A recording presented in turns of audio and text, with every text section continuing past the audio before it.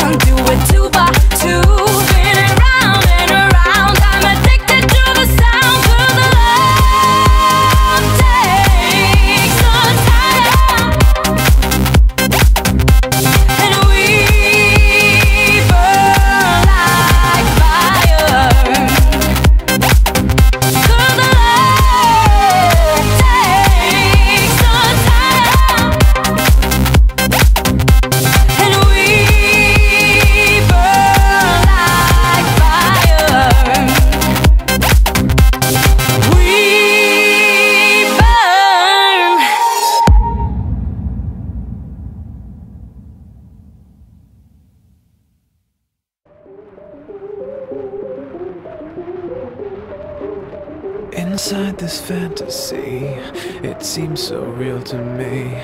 Synthetic ecstasy when her legs are open.